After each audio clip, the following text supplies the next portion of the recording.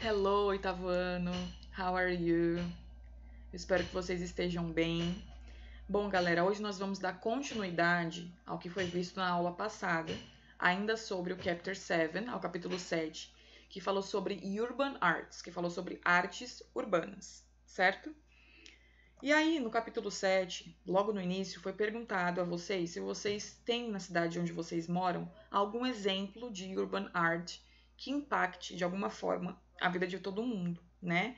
E além disso, o próprio livro deu exemplos de artes urbanas que são difundidas e bastante famosas pelo mundo, ok? A teacher hoje trouxe os exercícios de listening e de grammar, de escutar e da gramática, tá? Antes da gente escutar, é, só para a gente se situar, vai falar um pouquinho sobre dispatch work, que é um trabalho realizado por um artista em que ele utiliza peças de Lego, certo? E aí a pergunta é a seguinte: What do people usually use Lego plastic bricks for? Para que, que as pessoas utilizam as pecinhas de Lego? Normalmente utilizam essas pecinhas, né? E aí eu deixo para que vocês respondam, né? Se não souberem, pesquisem.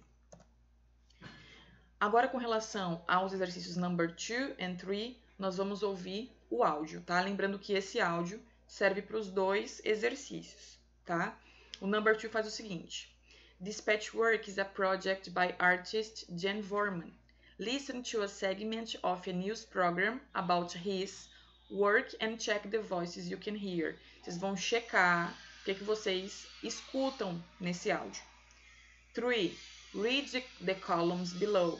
Listen to the audio again and match the columns. Então vocês vão relacionar as duas colunas da esquerda com a direita, certo?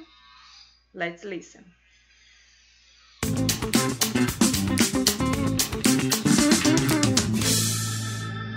These colorful little plastic bricks are not just for kids. They also spark the imagination of adults like Jan Vorman. The artist never goes anywhere without them. Jan loves playing with them in the great outdoors. The project is called Dispatch Work. Vorman started it two years ago. He got the idea after an exhibition in Italy by his Berlin Art School. Israel, Serbia, and Russia followed. In Amsterdam, the Architecture Institute invited him to do a presentation. Berlin was the only place where he had problems with museum security personnel but in the Bavarian town of Armsburg, the mayor liked his work so much he had it set in concrete. Outside, there's a direct connection to people who might not enter galleries or museums. That's why I find it so interesting. What he likes best is when other people spontaneously join him, and just for a moment they're kids again. Certo? E aí o number 4 é o seguinte: Do you consider Jan Vorman's work as true art? Você considera o trabalho do Jan Vorman uma arte verdadeira? Why? Por quê? Why not? Por que não? E aí ele pede para que vocês compartilhem as respostas com os amigos. Então, essa parte de compartilhar, vocês não precisam fazer, tá bom? Browse Google Arts and Culture through the QR code on the site and find two examples of street art to talk about. Através desse QR Code que aparece na tela, vocês vão se, ser direcionados para um lugar que vai dar exemplos de artes urbanas. Talk to your classmate about the work you choose. Essa parte vocês não precisam falar com ninguém, só escolher mesmo o trabalho. Here are some adjectives to help you out. Follow the example below. Então, no caso, vocês vão escolher a arte e vão caracterizar a arte de acordo com o que vocês estão vendo aí. Se ela é, é dramatic, se ela é dramática, se ela é large, grande, small, pequena, monumental, monumental. Com relação à cor, ela é basic, básica, vibrant, vibrante, certo? Aí façam aí um mini textinho. After selecting your artwork in log 1, fill in the table below. Então, vocês vão escolher, selecionar o trabalho de arte e vão fazer, né, é, preencher, na verdade, esse, essa table, essa tabela com as informações. Title, título, creators ou creator, quem foi que criou, se é só uma pessoa ou mais, date, a data, e a location, a localidade, tá bom? É, vocês podem fazer no caderno, se tiver espaço no livro e for suficiente, pode ser também. Galerinha, nós vamos falar agora um pouquinho sobre o grammar, a gramática. Lembrando que é, vai fazer uma revisão geral sobre modos comparativo e superlativo. Então, eu vou fazer uma recapitulada. Modo comparativo, como o próprio nome sugere, é uma gramática que eu utilizo para comparar algo, tá?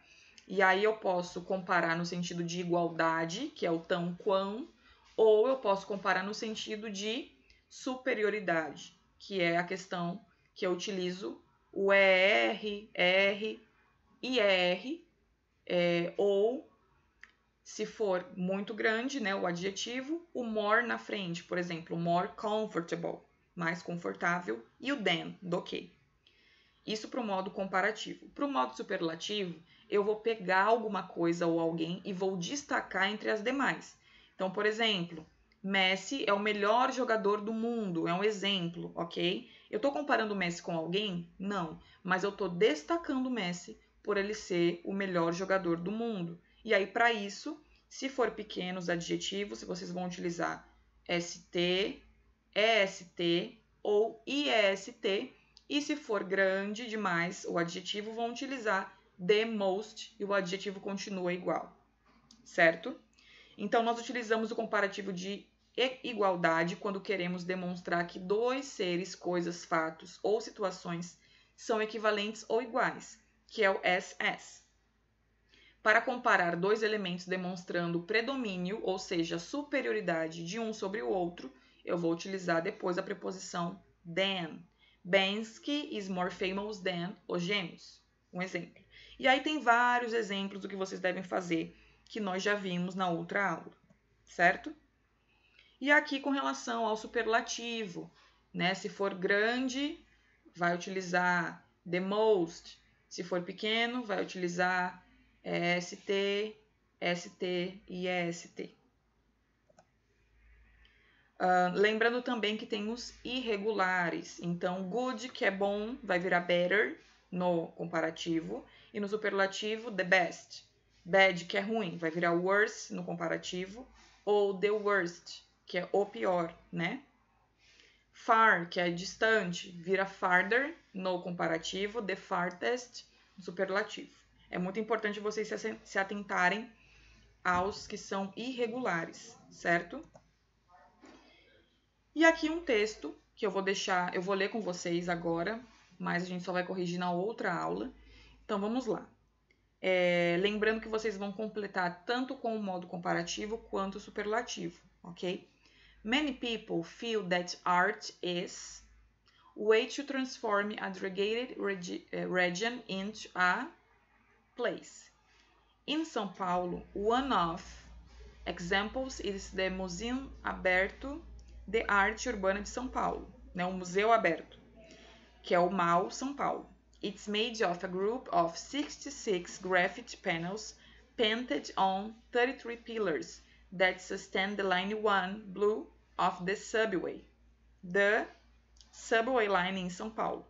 The pillars are 4 meter high, so the paintings are and then many others. Certo?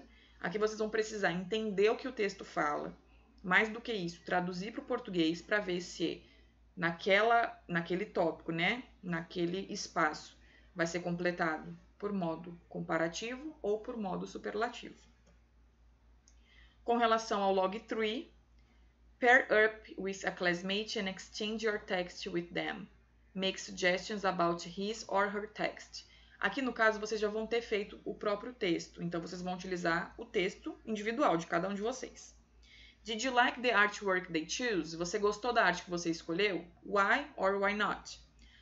Consider your suggestion, no, no caso, a sua sugestão mesmo, and edit your text.